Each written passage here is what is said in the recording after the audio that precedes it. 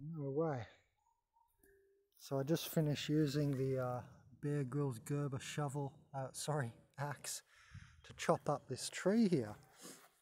And uh, the film didn't save. Sometimes the screen recorder just disappears at the end when I go to touch it. And I, I just made you guys this film. So we're going to have to have a close look like this, I guess. Look at that. So this is just a tree. This was the bottom end.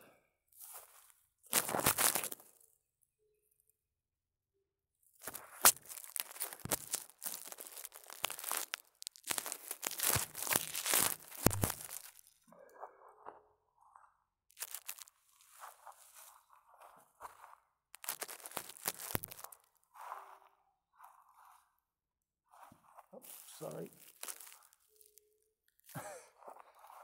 so check that out. Look how big these spikes are too. That's going straight through your hand. So this is just a type of tree here in South America. I'm in Uruguay. And uh, I'm not sure the name of this tree. We might try and find it. I'll uh, give it a Google. I'll put it in the description if I can find it pretty easy. But yeah, just cut away all the spikes up the top here. You're left with this. It's definitely deadly, huh? That is going through your finger. Look how big these spikes are.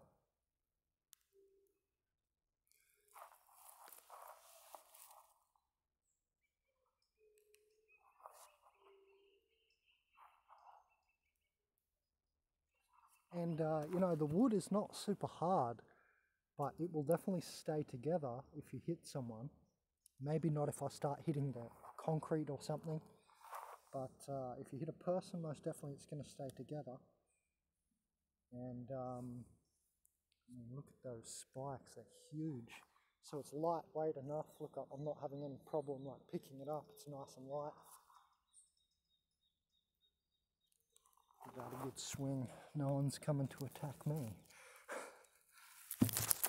yeah, I just wanted to show you guys that. Sorry uh, the initial video cut out, but it's not my fault.